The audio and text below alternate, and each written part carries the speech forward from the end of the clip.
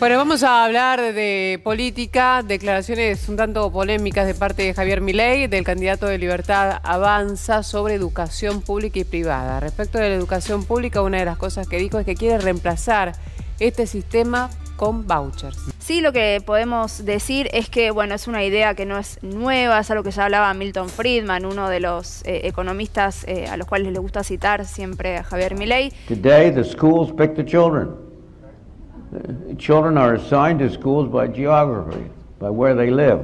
The, as I said in 1955, take the amount of money that we're now spending on education, divided by the number of children, and give that amount of money to each parent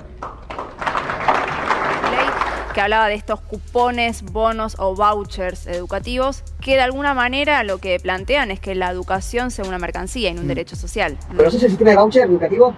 ¿No? Bueno, eh, yo diría que te fijes por internet, fíjate cuánto saca el celular a mano y fíjate el sistema de voucher y ¿qué hay? Ahí. ¿Qué encontraste en internet? Eh, que el voucher educativo es una competencia que permite a las escuelas crecer de acuerdo a la confianza que le dan a los padres y la responsabilidad que tienen en ser una buena escuela, entonces los padres la van a elegir. Es un sistema que se basa en entregar un voucher a cada padre y que cada padre elija libremente la escuela que quiere de acuerdo a, lo que ofrece. Y eso le otorga a la escuela una posibilidad de crecer porque ese voucher es dinero que le sirve por cada alumno que tiene. Eh, y eso permite crecer a cada escuela libremente de lo que el Estado le quiere. Ahora, sí, la verdad, bien. Esto lo averiguaste recién en internet. Sí. Sí. ¿Ves lo maravilloso internet? Cualquiera puede estar informado de alguna idea. Si no creen en nadie como yo, que no tienen por qué creer, lo pueden ver en internet, investigar y darse cuenta, lo pueden empezar ciertas ideas. Así que bueno, fantástico, tenés un montón enorme, gracias, ¿eh? unos genios. ¿eh? Pero la última frase que vos decías hoy, esto de que la educación entonces deja de ser un derecho. Exacto, pasa a ser una mercancía. Esto se deduce, bueno, un poco de lo que viene hablando Javier Milei en su campaña. Este cheque únicamente se podrá canjear en la educación. Es decir, que tú como ciudadano en el momento en el que recibas el cheque y tengas que ir a matricular a tu hijo en algún colegio, no lo vas a hacer si no quieres por el que te pille más cerca o por el que te hayan asignado. Lo elegirás en base a los éxitos del colegio, porque quieres lo mejor para tus hijos.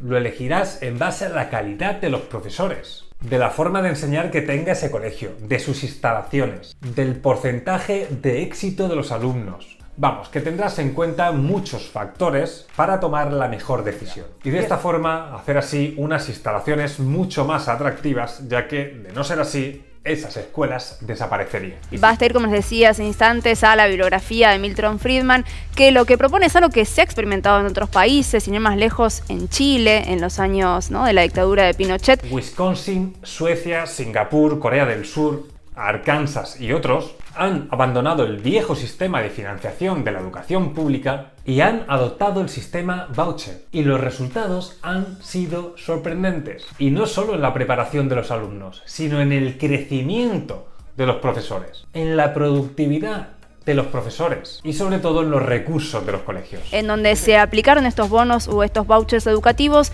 que eh, lo que hacen de alguna manera es que los alumnos y sus familias son clientes eh, y que bueno, la educación es un servicio que se consume, no un derecho social. Ese voucher, en vez de manejarlo el Estado, si lo dan ustedes a la escuela, a la escuela. Por lo tanto, el Estado ya no tiene participación. le sacamos el poder de administrar y entonces, de alguna manera, eh, a lo que se le da un bono o un voucher no es en subsidio, digamos, a la escuela en sí mismo, sino al alumno. Si vos querés estudiar, vas a tener la posibilidad de estudiar y vas a... La diferencia es que ahora vos no sos rehén del sistema de adoctrinamiento del Estado. esto es de un delirio, esto no es ser ni siquiera de ultraderecha, esto es, disparatado, parece salir un manicomio. Eh, para, para, que vean que estamos todos de acuerdo. En el fondo, cuando la gente empieza a conocer las ideas que transforman la educación, es mucho más fácil, pero tiene que conocerlas. Entonces hay que divulgar. Y les pido a ustedes, por favor, que divulguen entre sus amigos, sus conocidos, esta idea.